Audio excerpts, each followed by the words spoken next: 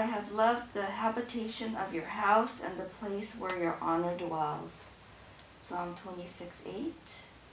Dearly beloved, the scriptures teach us to acknowledge our many sins and offenses, not concealing them from our Heavenly Father, but confessing them with humble and obedient hearts, that we may obtain forgiveness by His infinite goodness and mercy. We ought at all times humbly to acknowledge our sins before Almighty God, but especially when we come together in His presence to give thanks for the great benefits we have received at His hands to declare his most worthy praise, to hear his holy word, and to ask for ourselves and on behalf of others those things which are necessary for our life and our salvation. Therefore, draw near with me to the throne of heavenly grace. Almighty and most merciful Father, we have erred and strayed from your ways like lost sheep. We have followed too much the devices and desires of our own hearts. We have offended against your holy laws. We have left undone those things which we ought to have done, and we have done those things which we ought not to have done. And apart from your grace, there is no health in us. O Lord, have mercy upon us. Spare all those who confess their faults Restore all those who are penitent, according to your promises declared to all people in Christ Jesus our Lord. And grant, O most merciful Father, for his sake, that we may now live a godly, righteous, and sober life, to the glory of your holy name. Amen. Grant to your faithful people, merciful Lord, pardon and peace, that we may be cleansed from all our sins and serve you with a quiet mind through Jesus Christ our Lord. Amen. Amen. O Lord, open our lips, and our mouths shall proclaim your praise. O God, make speed to save us. O Lord, make haste to help us. Glory be to the Father, and to the Son, and to the Holy Spirit, as, as it was in the beginning, is now, and ever shall be, world without end. Amen. Praise the Lord. The Lord's name be praised. O gladsome light, pure, pure brightness of the ever-living Father in heaven, O Jesus Christ, holy and blessed, now as we come to the setting of the sun, and our eyes behold the vesper light, we sing your praises, O God, Father, Son, and Holy Spirit. You are worthy at all times to be praised by happy voices. O Son of God, O Giver of life, and to be glorified through all the worlds. The psalm is on page 281, Psalm 13.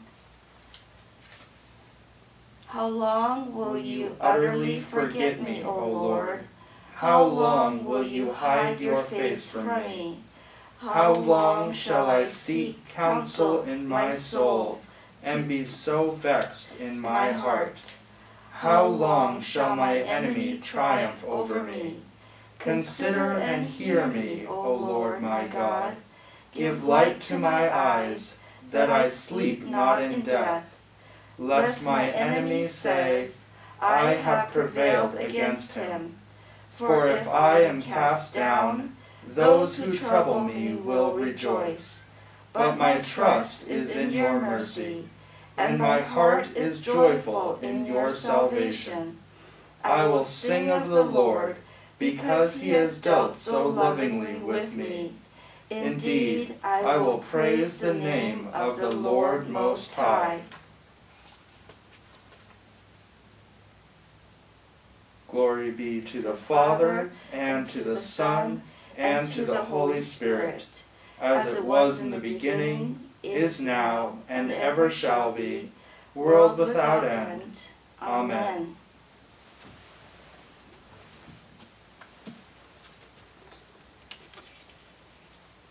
Isaiah 59, 9 to 20.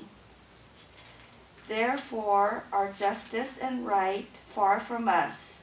The righteousness and the salvation do not overtake us.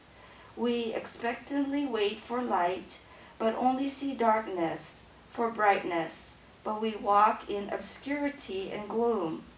We grope for the wall like the blind. Yes, we grope as they who have no eyes. We stumble at noonday as in the twilight, in the dark places and among those who are full of life and vigor. We are as dead men. We all groan and growl like bears and moan plaintively like doves. We look for justice, but there is none. But salvation, it is far from us. For our transgressions are multiplied before you, O Lord, and our sins testify against us. For our transgressions are with us, and as for iniquities, we know and recognize them as rebelling and denying the Lord and turning away from following our God, speaking oppression and revolt, conceiving and muttering and moaning from the heart words of falsehood. Justice is turned away backward, and righteousness, uprightness, and right standing with God stands far off, where truth has fallen in the in the city's forum, and uprightness cannot hear the courts of justice. Yes, truth is lacking, and he who departs from evil makes himself a prey. And the Lord saw it, and it displeased him that there was no justice. And he saw that there was no man, and wondered that there was no intercessor. Therefore his own arm brought him victory, and his righteousness. For the Lord put on righteousness as a breastplate or coat of mail, and salvation for a helmet upon his head. He put on garments of vengeance for clothing, and was clad with zeal. According as their deeds deserve, so will he repay wrath to his adversaries, recompense and to his enemies on the foreign islands and coastlands. He will make compensation. So they shall fear the name of the Lord from the west, and his glory from rising the rising sun. When the enemy shall come like a flood, the Spirit of the Lord will lift up a standard against him and put him to flight for he will come like a rushing stream with the breath of the Lord drives. He shall come as a redeemer to Zion and to those in Jacob, Israel, who turn from transgression, says the Lord. This is the word of the Lord. Thanks, Thanks be, be, to, God. God. The canticle is on page 79, Canticle 1. The ruler of the universe, Lord, Lord God, great deeds are they that you have done, surpassing human understanding. Your ways are ways of righteousness and truth. O King of all the ages, who can fail to do you homage, Lord? and sing the praises of your name. For you only are the Holy One. All nations will draw near and fall down before you, because your just and holy works have been revealed. Glory be to the Father, and to the Son, and to the Holy Spirit, as it was in the beginning, is now, and ever shall be, world without end. Amen. Our New Testament reading is from Hebrews chapter 5, starting in verse 11. About this we have much to say, and it is hard to explain, since you have become dull of hearing. For though by this time you ought to be teachers, you need someone to teach you again the basic principles of the oracles of God. You need milk, not solid food, for everyone who lives on milk is unskilled in the word of righteousness, since he is a child. But solid food is for the mature for those who have their powers of discernment trained by constant practice to distinguish good from evil. Therefore, let us leave the elementary doctrine of Christ and go to, on to maturity, not laying again a foundation of repentance from dead works and of faith toward God, and of instruction about washings, the laying on of hands, the resurrection of the dead, and the eternal judgment. And this we will do if God permits. For it is impossible, in the case of those who have once been enlightened, who have tasted the heavenly gift, and have shared in the Holy Spirit, and have tasted the goodness of the Word of God and the powers of the age to come, and then have fallen away, to restore them again to repentance, since they are crucifying once again the Son of God to their own harm, and holding him up to contempt. For, the, for land that has drunk the rain that often falls on it, and produces a crop useful to those for whose sake it is cultivated, receives a blessing from God. But, but if it bears thorns and thistles, it is worthless and near to being cursed, and its end is to be burned. Though we speak in this way, yet in your case, beloved, we feel sure of better things, things that belong to salvation. For God is not unjust so as to overlook your work and the love that you have shown for his name in serving the saints, as you still do. And we desire each one of you to show the same earnestness and to have the full assurance of hope until the end, so that you may not be sluggish, but imitators of those who through faith and patience inherit the promises. This is the word of the Lord. Thanks, be to God. Our next canticle is 6 on page 84. Splendor and honor and kingly power are yours by right, O Lord our God. For you created everything that is, and by your will they were created and have their being. And yours by right, O Lamb that was slain. For with your blood you have redeemed for God. From every family, language, people, and nation. a kingdom of priests to serve our God.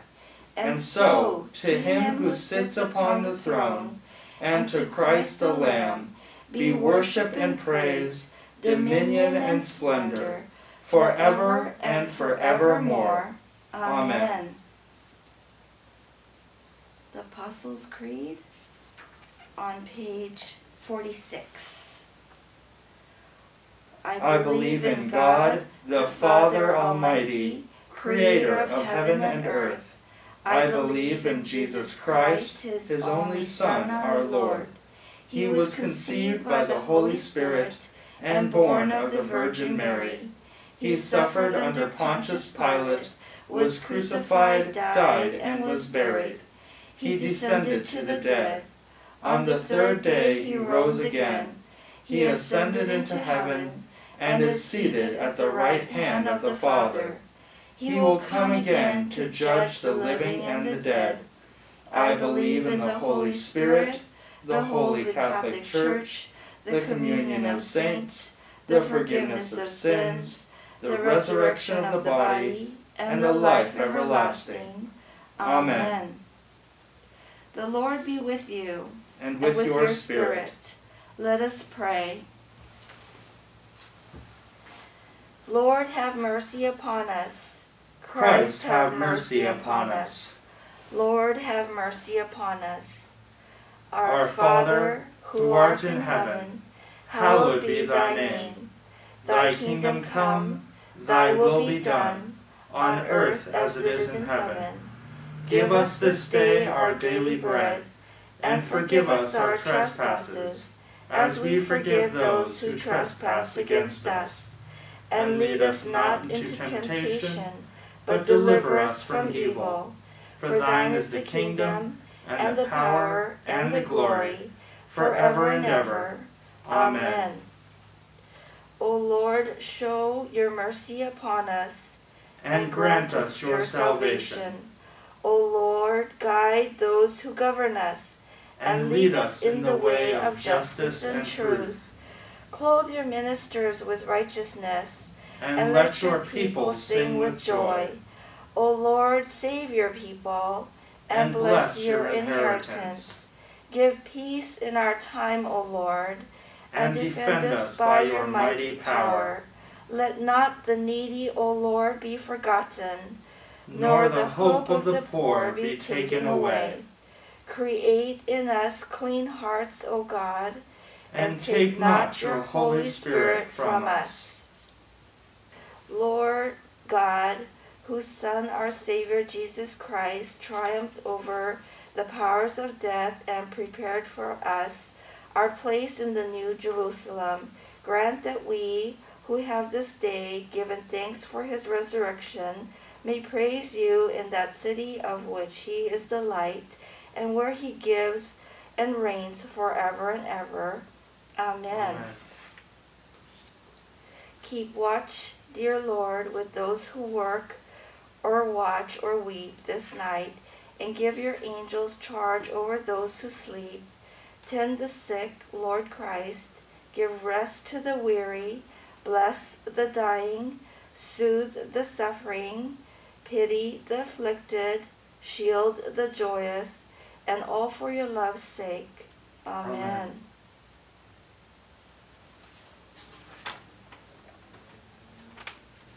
We pray for Audrey, Heather, Lori, Katie, Jerry, Joyce, Patrick, Angela, Robert, Barb, Dylan, Carol, Anne, Olivia, Gladys, John, Bethany, Janice, Sydney, Clara, Enzo, Paul, Rhiannon, Barry, Diane, Rose, Brian, Paul, Mary Ellen, Ellie, Mike, Rob, Kim, Jacob, Baxter, Jackson Scribner Phelps, Kiba, Joe, Victoria, Arlen, Bev, Winston,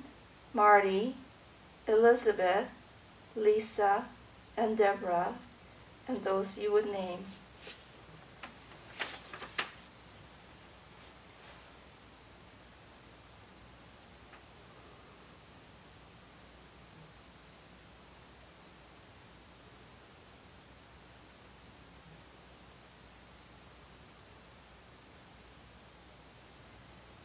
You, Jesus, for all that you do for our country now as there is continued turmoil, that you will help us to be, find peace, to be peace at peace with each other, and to help the city of roses in particular to be the beautiful city that it once was and that it is going to happen. Keep us positive that we can make a comeback. In Jesus' name, amen. amen. The General Thanksgiving on page 51. Almighty, Almighty God, Father of all mercies, we, your unworthy servants, give you humble thanks for all your goodness and loving kindness to us and to all whom you have made. We bless you for our creation, preservation, and all the blessings of this life, but above all for your immeasurable love in the redemption of the world by our Lord Jesus Christ, for the means of grace and for the hope of glory and we pray, give us such an awareness of your mercies that with truly thankful hearts we may show forth your praise, not only with our lips, but in our lives, by giving up ourselves to your service, and by walking before you in holiness and righteousness all our days. Through Jesus Christ our Lord, to whom with you and the Holy Spirit be honor and glory throughout all ages. Amen. Almighty God, you have given us grace at this time with one accord to make our common supplications to you, and you have promised through your well beloved Son that when two or three are gathered together in his name, you will grant their request. Fulfill now, O Lord, our desires and petitions as may be best for us, granting us in this world knowledge of your truth, and in the age to come, life everlasting. Amen. Amen. Let us bless the Lord. Thanks, Thanks be, to God. God. May the God of hope fill us with all joy and peace in believing through the power of the Holy Spirit. Amen. Amen.